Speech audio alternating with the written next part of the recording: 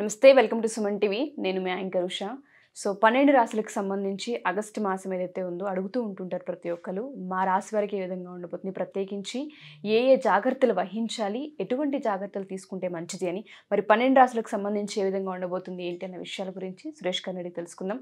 నమస్తే సురేష్ గారు. నమస్కారం అండి ఉషా గారు. సో మిథున రాశి. ఈ రాశి వారి కనుక మనం చూసుకుంటే ఆరోగ్యరీత్యా వివాహ రీత్యా వ్యాపార రీత్యా అడుగుతూ ఉంటుంటారు. సంతాన రీత్యా కూడా అడుగుతూ ఉంటుంటారు. ఏ విధంగా ఉండబోతుంది అంటారు? ప్రత్యేకించి వీళ్ళు ఏ ఏ విషయాల్లో జాగ్రత్తలు వహించాలి? రాశి ఫలాలు తెలుసుకోవటం మనం అక్కడ ఫండమెంటల్ రైట్ అని నేను చెప్తాను అనమాట ఎందుకంటే మనం మహర్షులు ఇచ్చిన ఒక గొప్ప జ్ఞానం. ఈ ఇబ్బందులు పడకుండా ఈతివాదాలు పడకుండా సంసారాన్ని చాలా హ్యాపీగా నెట్టుకోబోటానికి ఉన్నతంగా డిగ్నిటీగా ఎదగటానికి మనిషి సాధించిన పురుషార్థాలు అంటారు ధర్మము అర్థము కామము మోక్షం. డబ్బు సంపాదించాలన్నా మంచి పని చేయాలన్నా కానీ చాలా ప్రాబ్లమ్స్ వస్తాయి ఈ రోజుల్లో. ఇలాంటి వాటిని అధిగమించుకొని ఉన్నతంగా జీవితాన్ని సంచడానికి మన మహర్షులు ఇచ్చిన గొప్ప జ్ఞానం అండి.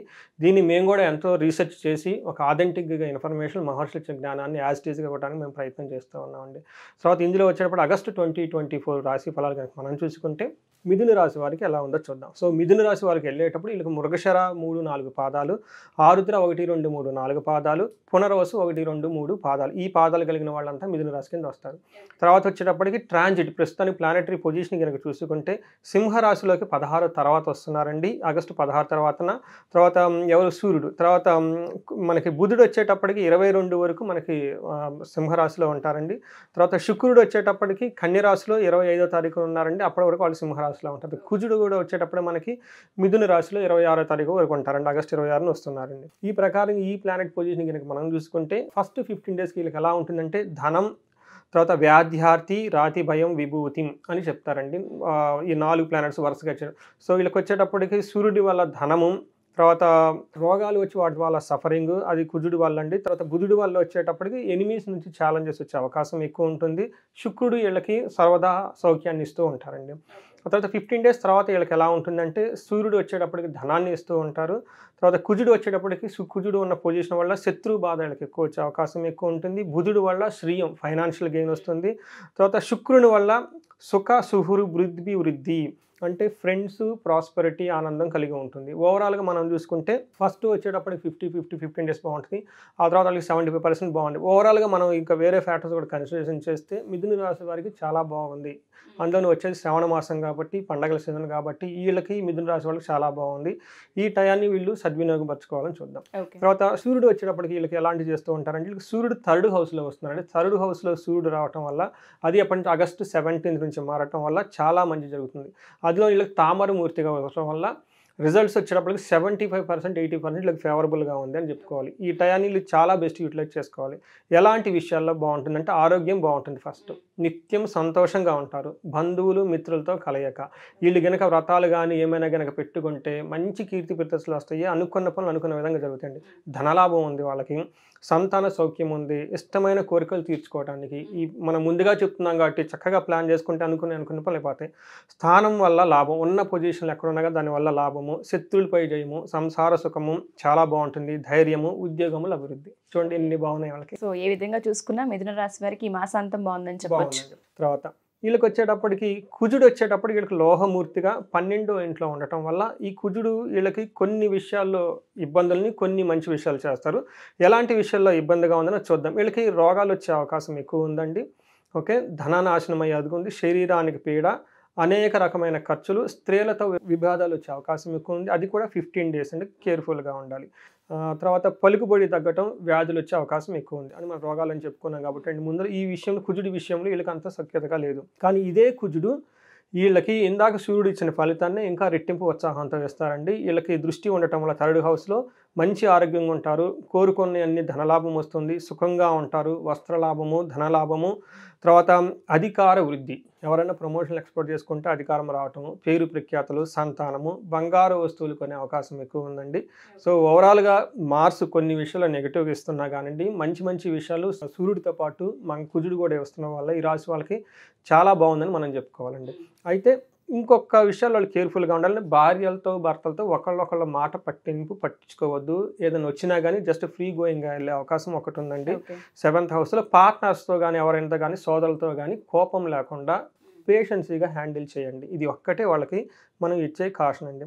తర్వాత శుక్రుడు వచ్చేటప్పటికి వీళ్ళకి లోహమూర్తిగా థర్డ్ హౌస్లో ఉన్నారండి. దీనివల్ల అగైన్ మిత్రలాభము గౌరవ వృద్ధి మాట చెడుబడి వాళ్ళు ఏదైనా కానీ ఒక మాట చెడిపోతే చలామణి అవుతుంది. వాళ్ళు చెప్పిన మాట వింటారు అందరూ. ధనము గౌరవము పలుకుబడి అంతా ఉందండి.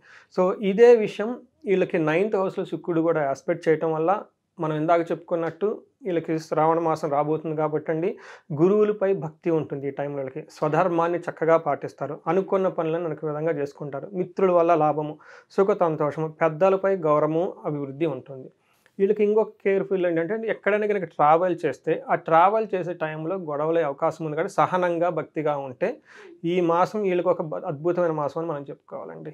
ఇది మనకు వచ్చేటప్పటికి మిథున రాశి వాళ్ళకి. అయితే అంగగోచారం అని ఇంకొక కాన్సెప్ట్ ఉందండి. జ్యోతిష శాస్త్రంలో దీని ప్రకారం నక్షత్రం ప్రకారం చూసుకుంటే మృగశిర నక్షత్రం వాళ్ళకి ఐశ్వర్యం ఉంటుందండి. ఫారిన్ వెళ్ళాలనుకున్న వాళ్ళకి మంచి అపార్చునిటీస్ ఉంటాయి. తర్వాత వచ్చేటప్పటికి ధనలాభం ఉంది. అదేవిధంగా వీళ్ళు కొన్ని విషయాల్లో భయపడి అవకాశం ఎక్కువ ఉంది. కొన్ని విషయాలు అనుకున్న పనులు అనుకున్నట్టు కావు. అందుకని చెప్పేసి బట్ ఓవరాల్గా బాగుంది కాబట్టి కొన్ని విషయాలు బాగుంటే హ్యాండిల్ చేసుకోవాలి. తర్వాత ఆరుద్ర నక్షత్రం వాళ్ళకి చూసుకుంటే ఐశ్వర్యం బాగుందండి. డబ్బు విపరీతంగా వస్తుంది. ఫారిన్ వెళ్ళే ఆపర్చునిటీస్ ఎక్కువ ఉన్నాయి. ధనలాభం ఉంది. తర్వాత ధనలాభం ఈ ఆరుద్ర నక్షత్రం వాళ్ళకి చాలా ఎక్కువ చూపిస్తుంది. టూ టైమ్స్ చూపిస్తుంది అనమాట అది వీనస్ శుక్రుడు వల్ల వస్తుంది తర్వాత బుధుడు వల్ల కూడా వస్తుంది. ఇంతవరకు బాగుందండి. కాదు కొన్ని విషయాలు వీళ్ళకి ధన హాని జరిగే అవకాశం కూడా ఉంది కాబట్టి కేర్ఫుల్గా ఉండాలి. అన్నిటికంటే ది బెస్ట్ ఆఫ్ బెస్ట్ కంటే పునర్వసు నక్షత్రం వాళ్ళకి ధనలాభం ఉంది. అగైన్ ధనలాభం ఉంది క్షేమం ఉంది ఫారిన్లో ఆపర్చునిటీస్ ఉన్నాయి ఐశ్వర్యం ఉంది. ఒక్కటి కూడా నెగిటివ్ ఫ్యాక్టర్ లేని వాళ్ళు ఎవరంటే పునర్వసు నక్షత్రం వాళ్ళు. ఇది బెస్ట్ ఆఫ్ బెస్ట్గా ఉంది.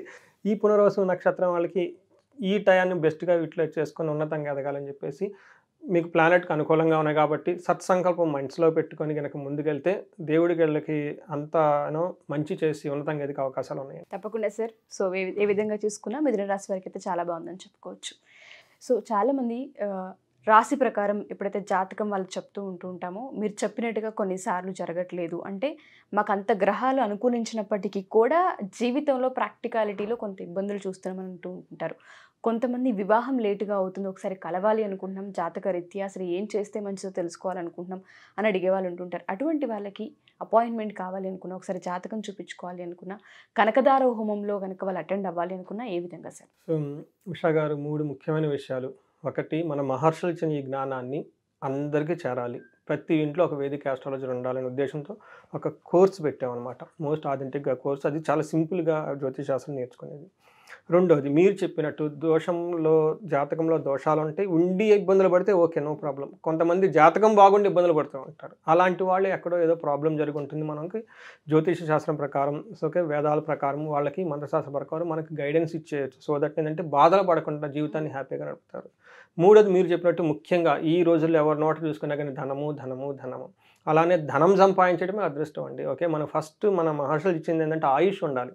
ఆరోగ్యం ఉండాలి తర్వాత ధనం ఉండాలి. ధనం సంపాదించకపోతే ఇంక నువ్వేం చేస్తావు? సంసారాన్ని నిలబడుకుంటావు బిల్లు అసలు ఎలా లైఫ్ అవుతుందండి? తర్వాత మనకి గృహస్థ ధర్మంగా ఉన్నప్పుడు గృహస్థ ధర్మాన్ని పాటించినప్పుడు గృహస్థులకి చాలా రెస్పాన్సిబిలిటీ ఉంది పిల్లలు ఉంటారు పెద్దవాళ్ళు ఉంటారు సన్యాసులు ఉంటారు సంసాసులు ఉంటారు గుళ్ళు ఉంటాయి గోపుర ఇవన్నిటిని తీసుకోవాల్సిన బాధ్యత సంసారదేనండి వాళ్ళకి ధనం చాలా ఇంపార్టెంట్ ఎవరైనా గనక ధనానికి ఎలాంటి ఇబ్బంది పడుతుందో కానీ మన గనక కన్సల్ట్ అయితే ఈ కనకధార అన్న ఈ ప్రోగ్రామ్ ద్వారా వాళ్ళు మొత్తం డయాగ్నోస్ చేసి అసలు ఏం ప్రాబ్లం ఎందుకు వస్తుంది చేసి మనకి పరిహారాలు చేసి వాళ్ళకి త్రీ టు సిక్స్ మంత్స్లో ఆగిపోయిన ధన ప్రవాహాన్ని మొత్తం మళ్ళీ వెనక్కి తీసుకొని రావచ్చు. ఎక్కడైనా లాక్ అయ్యేంటి విషయాలు మనకు గైడెన్స్ ఇస్తే వాళ్ళకి వెంటనే వచ్చేస్తాయి. మనం చాలామంది చూపించుకొని ఎంతమంది మెసేజ్లు పెడుతున్నారు చాలా ఫీడ్బ్యాక్ కూడా వస్తుంది. సో ఈ సద్వినియోగం ఈ అవకాశాన్ని సద్వినియోగం తెలుసుకోవాలండి. ఒక మన మహర్షులు ఇచ్చిన జ్ఞానాన్ని మంత్రస్థానం ఇచ్చిన జ్ఞానం వేదాలు ఇచ్చిన వాటిని తెలుసుకొని ఆథెంటిక్ పీపుల్ ద్వారా చేసుకుంటే బాగుంటుంది. తప్పకుండా sir. Thank you sir thank you so much so ఎవరైనా సరే సురేష్ గారిని కనుక జాతక రీత్యా ఒకవేళ కలవాలి అనుకున్నా మీ జాతకాన్ని చూపించుకోవాలి అనుకున్నా దాంతోపాటు ఆర్థిక ఇబ్బందులతో ఎవరైతే సతమతమవుతూ ఉన్నారో వాళ్ళందరూ దాని నుంచి బయటపడాలనుకుంటే కనకదార హోమం చాలా పెద్ద ఇంపాక్ట్ని క్రియేట్ చేస్తూ ఉంటుంది మీ జీవితాల్లో. సో హోమానికి సంబంధించిన డీటెయిల్స్ తెలుసుకోవాలి అనుకున్నా కింద స్క్రోల్ కాంటాక్ట్ నెంబర్ని కాంటాక్ట్ చేస్తే సురేష్ గారి మీకు పూర్తి వివరాలు అందిస్తారు. Thank you